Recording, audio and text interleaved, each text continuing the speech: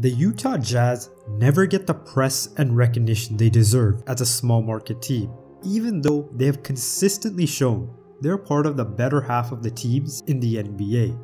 This season is no different. Currently, they're on fire right now. They have won 10 straight games, putting them near the top of the Western Conference. So are these Utah Jazz a legit title contending team?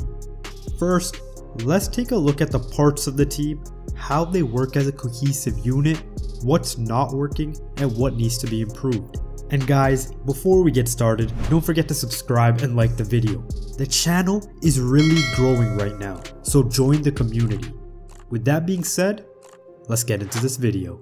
The Utah Jazz have gotten off to a hot start to the season, and a lot of it has to do with individual improvements players made in the offseason. Let's start with Donovan Mitchell, the second coming of Dwyane Wade with a three point shot. He has been getting coverage recently after Shaq said he's not a superstar and won't be one, and that he is just an all star. I agree and disagree with this statement. I don't think he has reached superstar status yet, but the potential is definitely there. He has consistently gotten better each season and has added to his game.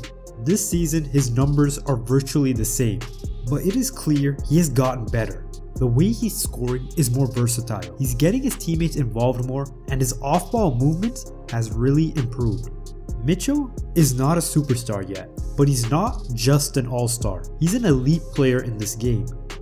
Then there's Rudy Gobert, another player Shaq has been pestering all season long. I think everyone is on the same page about Rudy Gobert's $205 million contract. When news initially broke about this, I was thinking Rudy must have shown to that Jazz he added to his offensive game. I was completely wrong about this. He has regressed.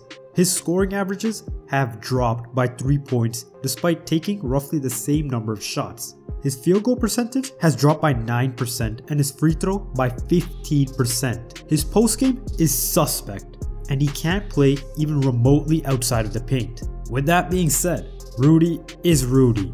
He's the anchor to the Utah's defense and really deters players from driving inside and makes them settle for jumpers. Rudy is also the perfect complementary piece to Mitchell, offensively and defensively. Mitchell isn't the best defender. He's not at all bad, but he could be better. So when Mitchell lets a drive by, Gobert is big enough to contest a shot and make a dump off pass difficult. He also sets hard screens to Mitchell to free him up and roll hard, making the opposing team's defense collapse, giving open looks to not only Mitchell, but his teammates. His game has not improved, but he is a big reason as to why the Jazz are off to a hot start. The biggest individual improvement comes from Mike Conley. His first season with Utah was less than memorable, and it looked as if the Jazz had gotten ripped off in the trade. Conley was 32, had an Achilles injury, and just didn't look right. But it seems like everyone was wrong, and he just needed time to acclimate himself into the Jazz offense. After all, he did spend his entire career with the Grizzlies and was always used to being the primary ball handler. So playing with Donovan and Bojan must have been very different. This season, he's looking like his better years. He's healthy and it's clear he has learned to play off of Donovan and Bojan. He's moving off the ball, getting his team involved and in the right places and scoring at an efficient clip. He's averaging a team leading 6 assists a game while shooting 42% from 3 and scoring 16.5 points. His offensive rating has climbed over 13 points, and defensively, he's also doing better, even though that was never a problem with him. Jordan Clarkson is the other Utah player that has been stellar. His offensive production and efficiency right now is insane. He's the spark plug of the team, a Lou Williams type player, where he checks into the game, just scores so effortlessly. He's playing the best basketball of his career, shooting 41% from 3, 49% from the field, and 96% from the free throw line. That is ridiculous efficiency for a player coming off the bench. He has truly embraced his role, leading that second unit and getting the ball moving. He's a big time contender this season for the 6 Man of the Year award. Other key players that have helped in their hot start to the season are Joe Ingles, Royce O'Neale, and Derrick Favors. Every team can use players like these two. They hit the three ball at an efficient clip and defend very hard. Ingles also gives the Jazz another reliable playmaking option, and Royce is just such a nice complementary piece to have on any team. He hustles, can shoot the three, and rebounds very well at his size, currently averaging 6.5 rebounds a game. He's 6'4. To put that into perspective, Brook Lopez is 7 feet and is only averaging 5 boards a game. Bojan Bogdanovic is the last critical piece of the Jazz team. He's gotten off to a very rough start with his efficiency down the drain. I don't think this is something Jazz fans should be worrying about. He's coming off of wrist surgery and he's a shooter, so it might just take him a little bit of time getting used to his stroke. Just be patient. He's more than a solid wing player. All these individual jumps players have made is a reason why the Jazz are off to a hot start but also how the team is playing together as a cohesive unit on the offensive and defensive end. The offense Snyder has implemented encourages ball movement and screen runoffs, where players are put in opportunities of high percentage catch and shoot looks. 6, I repeat 6, Jazz players are taking at least 4 three pointers a game. They lead the league in three point attempts a game, with 41.6 per game. Their offense has really modernized, playing 4 out, and them having an elite scorer in Donovan Mitchell helps. He's always penetrating, forcing the defense to collapse and getting his teammates open. If they don't collapse, he can take it straight to the rim or lob it to Rudy. They're third right now in offensive rebounding percentage, so when they're missing shots, Rudy is getting them a lot of second chance opportunities. Right now, they have the fifth highest offensive rating in the league.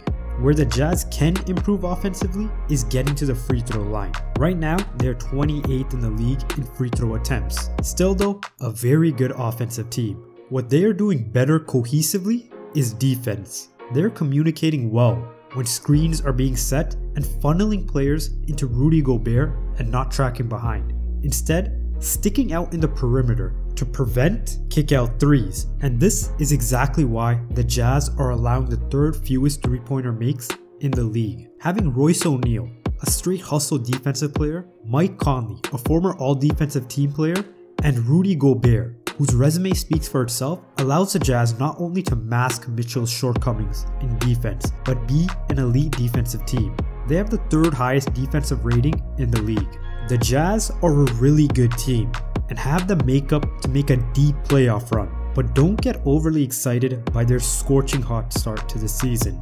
They are playing historically right now from the three point line. So I think we'll definitely see the team come back to reality and their record regress. They are making 40% of their threes right now. No team in NBA history, not even Steph Curry's Golden State Warriors or James Harden's Houston Rockets, at their best have finished a season in the 40 40 club by attempting 43s per game and hitting 40% of them. So realistically, the Jazz shooting numbers will come down. Another reason is the Jazz have been very fortunate that rather than Joe Ingles who missed games for a sore heel and Donovan who just got placed into concussion protocol, they have been very healthy. None of their players have contracted coronavirus or have even needed to go into COVID protocol. They've had a very healthy team, unlike most of the league. And right now, the COVID situation is not if it will happen, but when it will happen. So expect the Jazz record to regress. Now, to answer this question Are the Jazz a legitimate title contending team?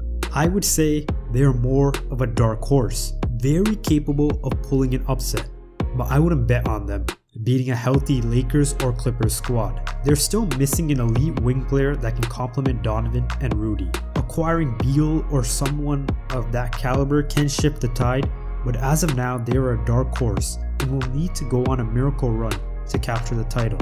See, I can see the Jazz knocking out the Clippers from the playoffs, but the Lakers, I can't. They're just too star studded and have LeBron James. He practically makes the finals every year only way I can see it is if AD can't play due to injury. Then, the makeup of the Jazz team stands a chance to knock out the Lakers. But rather than that, this team is a dark horse and is a piece away from capturing the NBA title.